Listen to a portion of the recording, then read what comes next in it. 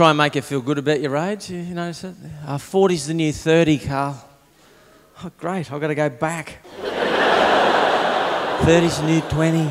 Does it keep going, does it? 20's the new 10. 10's the new fetus.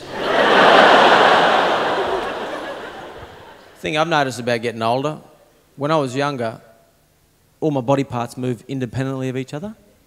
As you get older, the whole thing starts to move as one. You're young, someone goes, Carl, you go, huh?